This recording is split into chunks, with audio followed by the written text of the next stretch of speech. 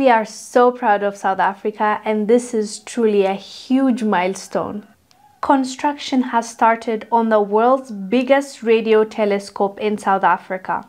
South Africa has stepped into the next phase of developing the world's largest radio astronomy instrument. It is aimed at revealing events since the cosmic dawn when the first stars and galaxies were formed. South African officials and scientists have recently celebrated a huge milestone towards building the world's largest radio astronomy instrument, which is co hosted with Australia and aims to unlock mysteries of the universe. It's truly a great news. An African country making moves in this sector usually as we all know, we are not involved. But now, South Africa building the world's largest radio instrument. Uh, before that, Uganda launched um, their own satellite, and also Zimbabwe.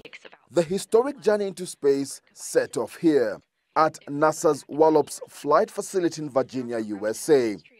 On board the NG-18 Cygnus cargo craft was Uganda's Pearl Africa Sat-1 satellite, Alongside was Zimbabwe's ZimSat-1. Both nations were involved as part of the Japan Aerospace Exploration Agency multi-nation project. At home, there was excitement at the public live stream. I can't describe my feeling, but I can describe what I saw on my neighbor's face. Well, he was sweaty and that shows he was so excited. The Pearl Africa Sat-1 is a 10 centimeter cubic satellite that was designed and developed by three Ugandan engineers. It took 15 months to complete truly it's inspiring seeing African countries um, developing in other sectors as well because at the end of the day we have to be well rounded we can't only focus on one thing and lack on the other.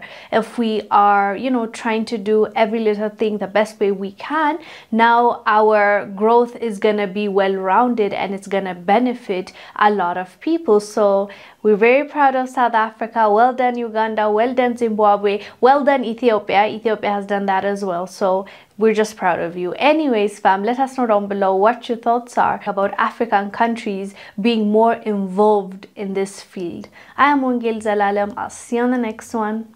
Bye.